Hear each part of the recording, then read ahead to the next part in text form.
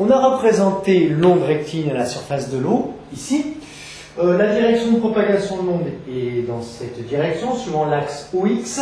Ici, il y a un réglet qui frappe et qui génère donc ces ondes sinusoïdales progressives mécaniques.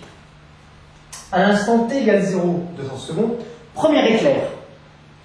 On éclaire cette ligne-là, donc l'onde se trouve au point A, à une distance x égale 0,098 mètres de l'origine. À l'instant t plus θ, nouvel éclair. À ce moment-là, l'onde se trouve en B, ici.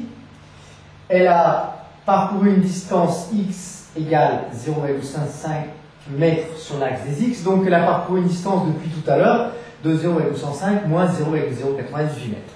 Puis à l'instant t plus 2 θ, eh bien l'onde se retrouve ici, etc., etc.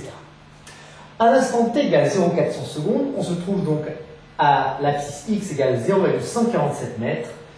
L'onde a parcouru donc une distance delta x qui est égale à cette valeur de x, je l'appellerai x final, hein, si vous voulez, moins x initial, hein. x final moins x initial. On a un intervalle de temps delta t égale quoi? Ben, euh, T final, tiens, ça c'est T final, moins T initial. Que vaut donc la célérité de l'onde V, célérité moyenne de l'onde, hein, delta x sur delta t?